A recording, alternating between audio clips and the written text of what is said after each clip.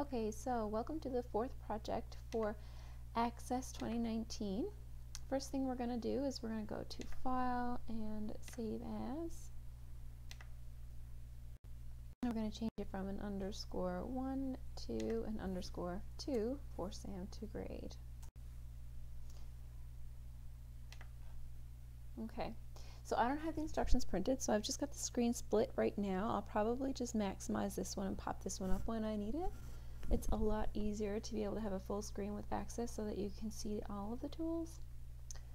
So Competitive Swim Clubs Inc. is, oh, step one, we'll start off, um, is a national chain of swim clubs.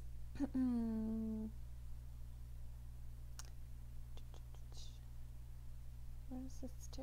There we go. I'm going to click on it. Targeted to youth and adults who are or who want to be competitive swimmers. You are the regional managers for clubs located in southeastern United States. Create a query for the members table that includes the member ID, first name, last name, club ID fields for all the members that belong to the club with a club ID of CO2. Save the query using CO2 members as the query name. Okay, so we need to create a query based off of the members table. So I'm going to click on the members table and click create and query design. Members is already selected here because I have it selected over here, but I'm going to have to double click on it to bring it over to my query. Now I need to include the member ID. I'll double click. You can also click, hold, and drag it down. That's another way you can do it. I like to do the double click. First name, last name, club ID. Um, for all members that belong to the club with a club ID of CO2. So I'm going to go to the criteria for club ID and go C02. Be careful that that says a 0 and not a, a capital O. Save the query using CO2 members as a query name. So we go run, and it returned only the club ID um, of C02. So if you did type in CO2 and you don't get any records back, that might be what the issue is. So now I'm going to save it C02. Make sure you put 02 in the name here or it will mark you wrong. Okay. Alrighty. Step two, open the total fees query and add and add a calculated field that sums the registration field values and the annual field values. Assign the alias total fees to the calculated field. We did this one in the last one. We created a calculated field. So we are going to go to the last field. We're going to go right click and we're going to go to zoom. And in here we are going to use the total fees alias. And then we are going to add registration.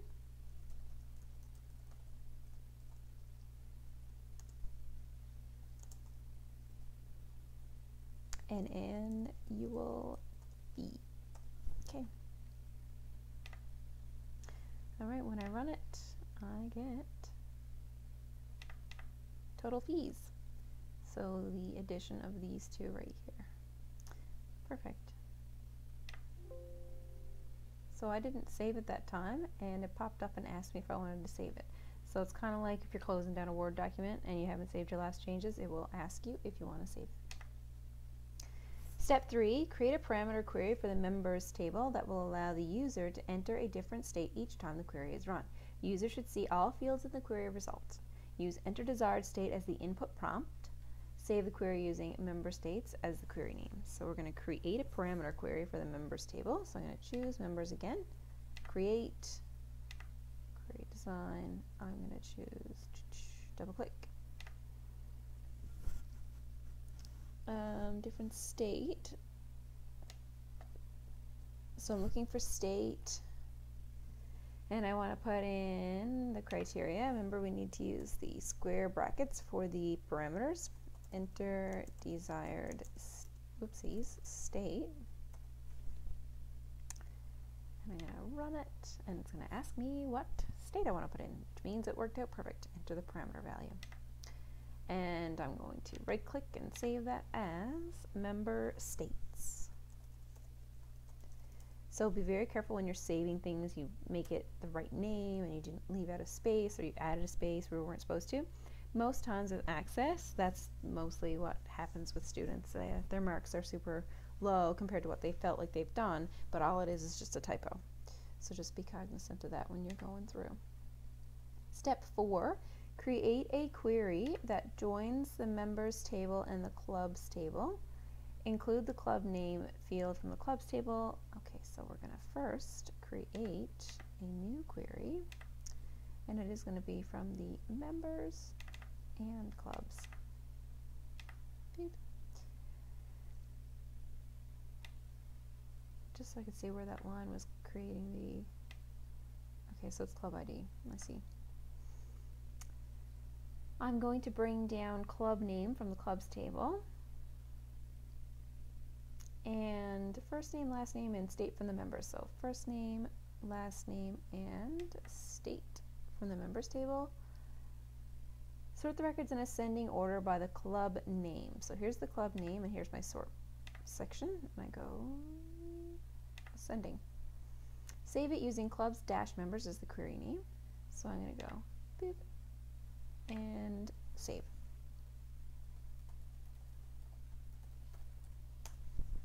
Okay, and close. I always close my tables to make sure there's nothing open.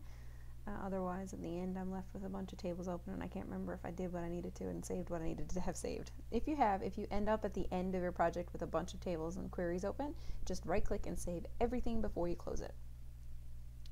Step five, open the SC members query and find all members who belong to the club with a club ID of C01 and who reside in South Carolina, SC.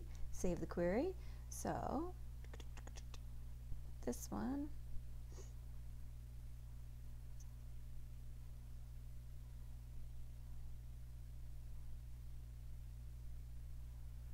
We're going to go to design view and I'm going to go to club ID and in the criteria, I'm going to type in C, that's a 0 and a 1. And then when I run it, I have just found all members that are a C01 club ID. Oh, whoops, and who reside in South Carolina. So I just did that quickly without looking at South Carolina. As you can see, there's a bunch here from North Carolina. So that's not right. We're going to have to go back to design view. And in the state, it says and who reside in. So I'm going to do it in tandem with the C01 so it returns the records that have both in that record. So we go SC and I hit enter which took the default this one. So I'm going to click outside. Now when I run it I get two. That's what I need. So I'm going to save that because it's already been created. I don't need to change the name and close it. Okay.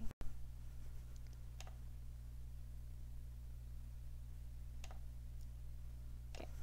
Step six, open the members swimmers query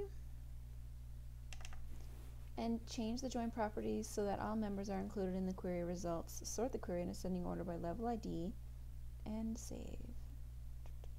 Join properties, which means we need to look at the relationship between these two tables and double click we need to include are including all records.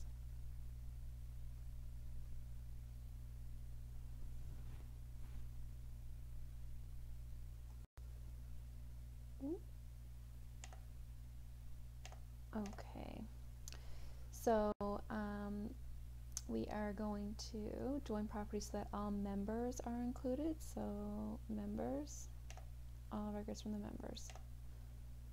Okay, so we're going to save and run, close it down. Step six is six, right? No, seven. Step seven, import the support swim strokes file into the swim strokes table. Do not save the import steps. So swim strokes table, external data, new data source from file, Excel and import the import the current the, oh my goodness import the source data into a new table in the current database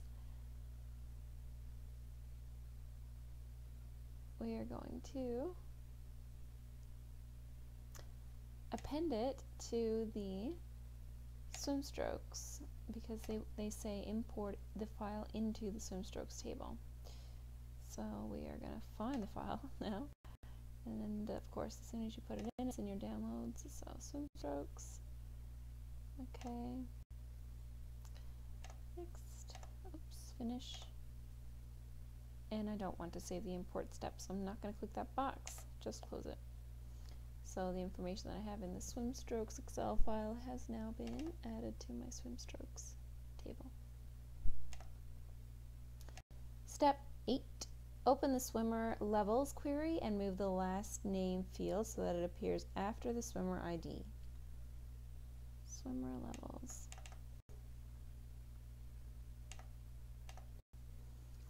So I'm moving last name to be after swimmer ID. So swimmer ID, last name.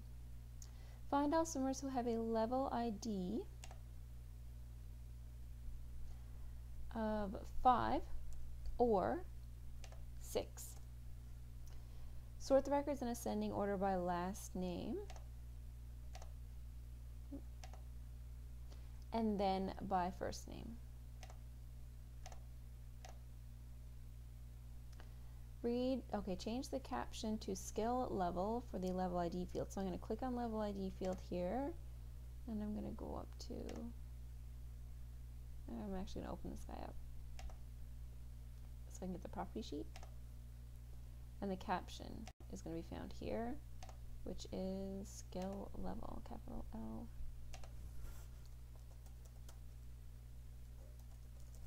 Okay, so that's done, just enter and close it down. Save the query. All right, so save it because it was already created so you don't need to make a name for it. Step 9, create a query for the members table that lists all states in ascending order. So members, create, query design. We're going to double click to get that one over. We're going to close down our add field. Now they want to do state. States in ascending order, each state should appear only once. Okay, so they don't tell you, but each state should appear only once means unique values, which you did in an earlier project. So that's what that means. So we're going to click on our state, we're going to go up to our property sheet. Actually, we're going to click out here because we only have one field. Unique values, meaning we only want to return unique records. Um, I clicked out here to get that property sheet up, property sheet for the whole query. So yes, I run it, I only get unique states. I don't get every single record that has AL or GA or North Carolina or South Carolina. Um, and we need to save this one with the name unique states.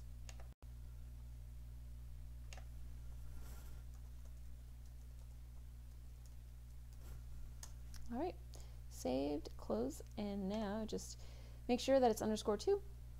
Make sure you save and close any open tables or queries up top, and once it's all closed down, you don't have anything else to save because it's a collection of files inside one big database. All right, so we will see you on the fifth project.